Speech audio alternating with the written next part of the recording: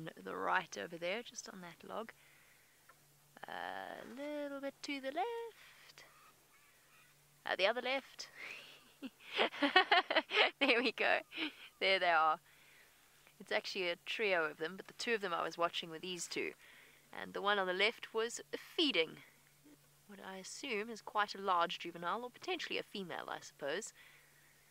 Although there's one scruffy feather sticking out of place that suggests perhaps it has slowly but surely started, not, not started, basically completed the growth of its adult feathers.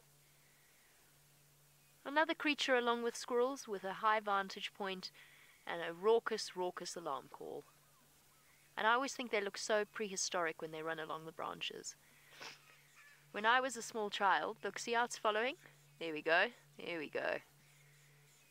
Definitely an almost fully grown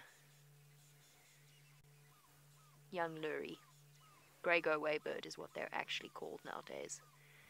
When I was a small child, I was convinced that there was nothing I wanted more at one point than a grey go away bird as a pet. So at uh, roughly, I don't know, seven or eight years old, I constructed a cleverly devised trap that involved basically the old cardboard box and a stick and a piece of string routine with some food laid out underneath it. And I caught this go away bird eventually after many, many hours of sitting patiently in my garden. And I took one look at this poor thing's utter panic in that cage that I'd constructed, and I immediately set it loose. And the guilt followed me around for years afterwards. I was so terribly upset at that. Of course, shortly after that, I received a baby mouse bird, baby speckled mouse bird from somebody in my class who believed that I would probably be a better mother than she was, I assume. And she gave me this go away bird, and its name was Pidgey because apparently I had no imagination at eight years or ten years old. And Pidgey used to come to class with me and sit under my hair.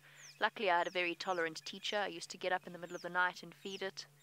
I still to this day don't know if it was a he or a she.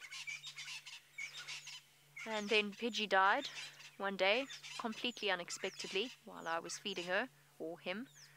I was convinced that I'd choked it, and that was the end of Jamie's bird raising career. So there you go. A little bit of history into Jamie's psyche. I never raised another bird after that.